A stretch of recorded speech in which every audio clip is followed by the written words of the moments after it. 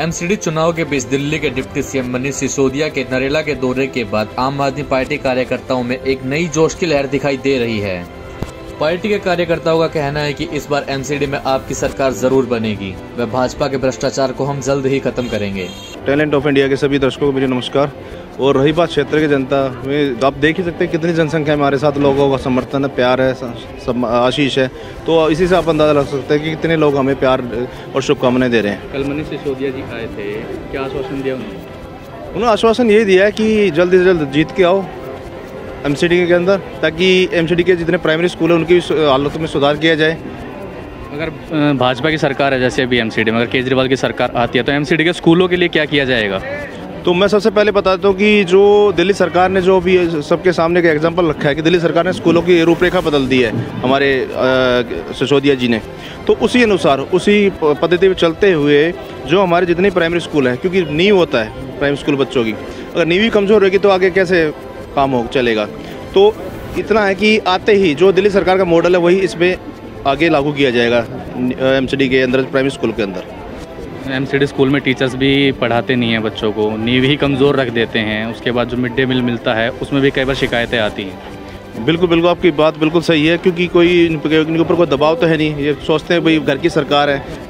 पढ़ाना पढ़ाओ, वरना मत पढ़ाओ। लेकिन इसमें हर चीज़ में बदलाव किया जाएगा और हर चीज़ को जो भी कमी पेशी को सुधारा जाएगा। मिड डे मील का आपको पता ही है कि कई बार शिकायतें आती रहती हैं कि बच्चे बीमार पड़ जाते हैं कई बार छिपकली भी मिलती है मिड डे मील के अंदर। तो बहुत सारी चीज़ें जो सुधार की वहाँ पे गुंजाइश है। चुनाव नज़दीक आ रहे हैं। जी। क्षेत्र की जनता के बीच में जा रहे हैं। किस तरह का समर्थन मिल रहा है आम आदमी पार्टी को? देखिए समर्थन तो आप देख ही सकते हैं। बहुत बेहतरीन समर्थन है जनता का।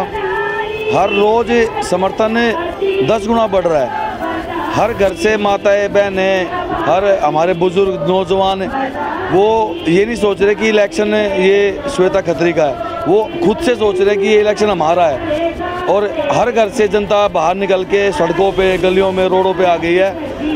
और क्षेत्र की जनता के बीच में जा रहे हैं। किस तरह की समस्याएँ बता रहे हैं आप? देखिए समस्याएँ छोटी छोटी हैं लेकिन बड़ी गंभीर हैं। समस्या यहाँ सबसे बड़ी जो है नालियों की, गलियों की साफ़ सफ़ाई की नहीं है। भाई, बीजेपी पंद्रह साल से रही है क्षेत्र में, उन्होंने काम नहीं किया अच्छे से।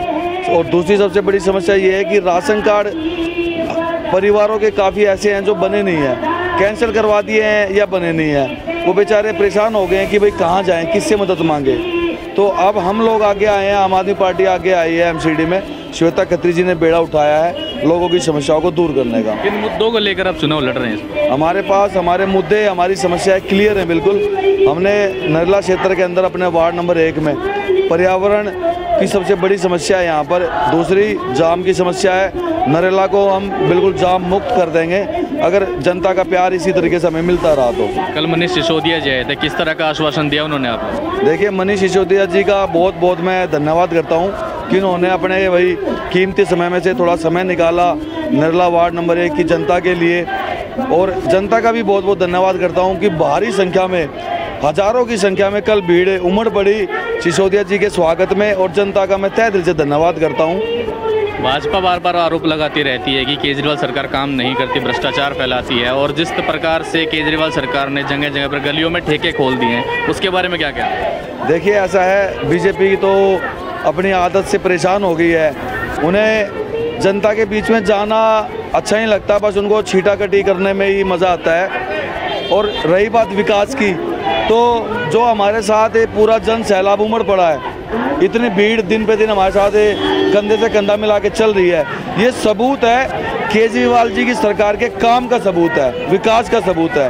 और रही बात आरोप लगाने की तो देखिए जहाँ पर विकास होता है काम होता है तरक्की होती है वहाँ छोटे मोटे आरोप तो विरोधी पार्टियाँ लगाती हैं और तो लगाती क्या केजरीवाल सरकार ने शराब के ठेके खोलकर क्षेत्र में विकास किया है?